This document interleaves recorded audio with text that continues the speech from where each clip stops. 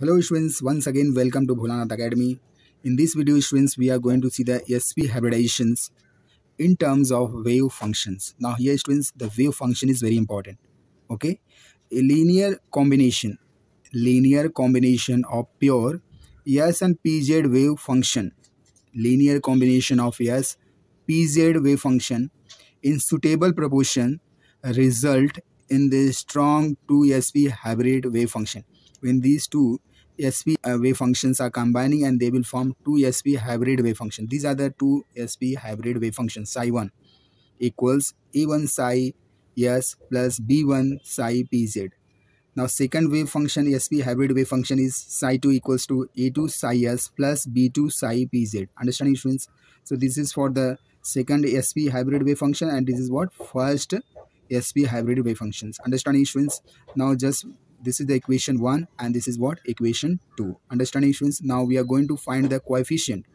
Before psi s a1 is there before psi pz here b1 is there. For first sp hybrid wave function.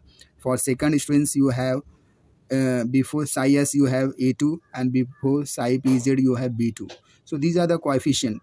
Now what are these are coefficient difference where a1 a2 b1 and b2 are mixed the coefficients. They are how much it has been mixed that they will decide it. So where a1 a2 b1 and b2 are mixed coefficients. They are called as what? Mixed coefficient.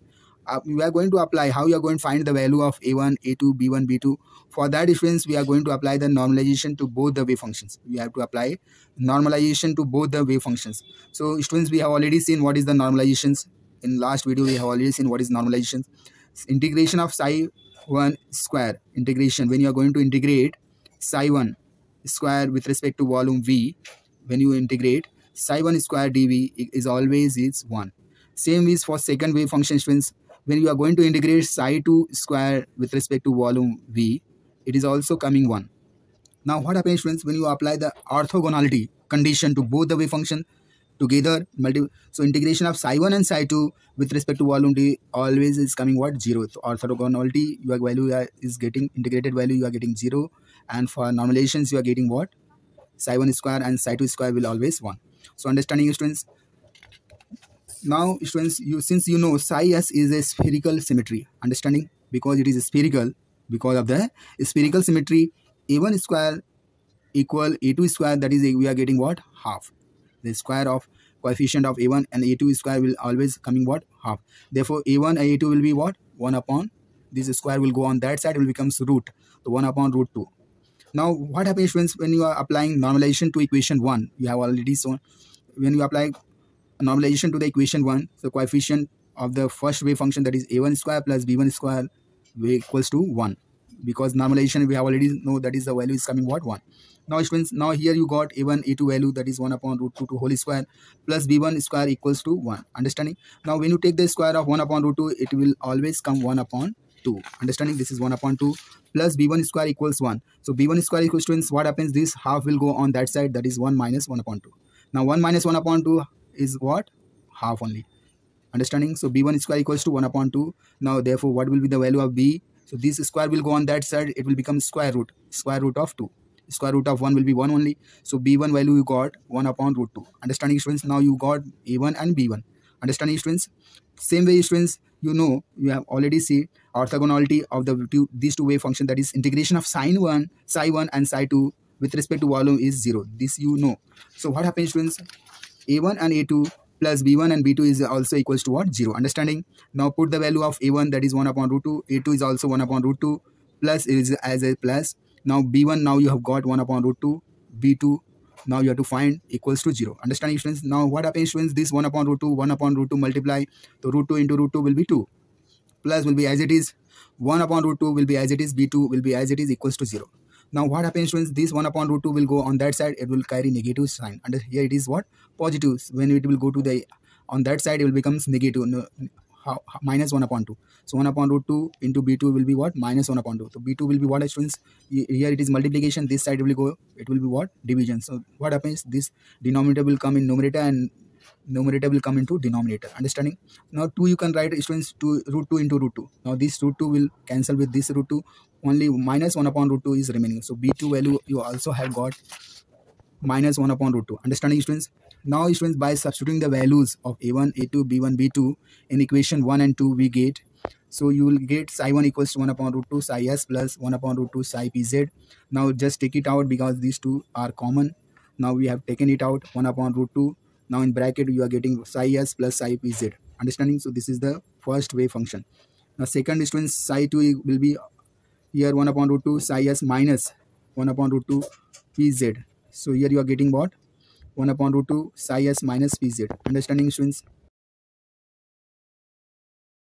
The sp orbital is stronger than the pure s and p atomic orbitals. Understanding? From which it forms. Understanding students, the sp atomic orbital is stronger than pure s and p atomic orbitals. Now when you take the ratio students psi pz maximum upon psi ps max, you will get 1 upon root 3 upon root 2. The value is always coming 1 upon 932 the bond strength connect this bond strength connect the sp hybrid orbital will be 1 upon 932 understanding because of the value is coming more than 1 1.932 so this is the relative bond strength of the sp hybrid orbitals. Now what happens students what are the properties? The two sp hybrid orbitals are completely equivalent in energy. Sp hybrid orbitals is stronger than pure s and pure p orbitals. Because of the relative overlapping power is what? 1 upon 1.932 1.932 the sp hybrid orbitals there is one larger lobe and one will be the smaller lobe due to the high degree of overlapping. And these are the properties of the hybrid orbitals. Understanding students? Now we are going to see the some example students. First example, you have taken beryllium chloride. The formula is BeCl2. Now atomic number students, beryllium is 4. The electronic configuration you are knowing 1s2, 2s2, 2p0. Now because chlorine is also involved in the bonding, chlorine atomic number is 17.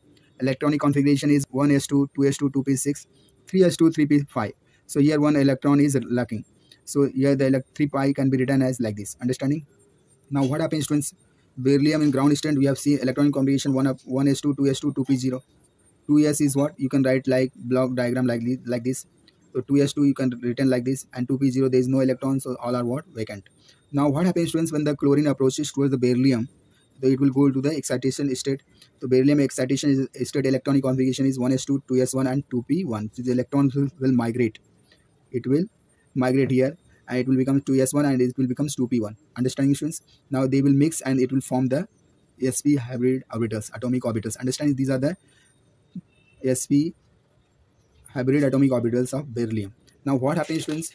This we can show with the three-dimensional structure like this. This is the 2s1 pure atomic orbitals of beryllium combines with the 2p1 atomic orbitals of beryllium. This is the 2p1 now when they will mix students that means when they will go to the hybridizations they will form the sp hybrid orbitals of beryllium like this.